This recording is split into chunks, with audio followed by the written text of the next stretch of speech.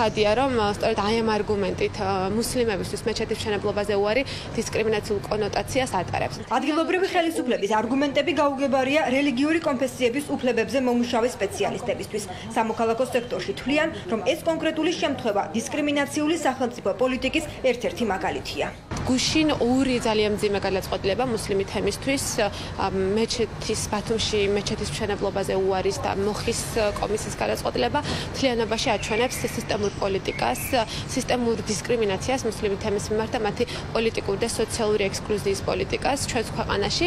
ამ პოლიტიკის კონტექსტში განიხილა